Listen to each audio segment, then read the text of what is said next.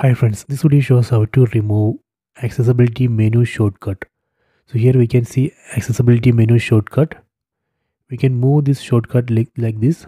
So I want to remove it. First go to settings, tap on the settings app icon.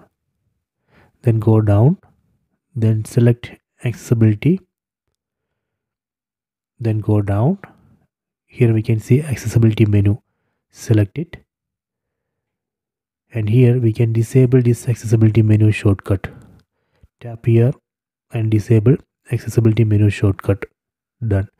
See now that accessibility menu shortcut is not displaying in this screen so this way we can easily disable or delete accessibility menu shortcut.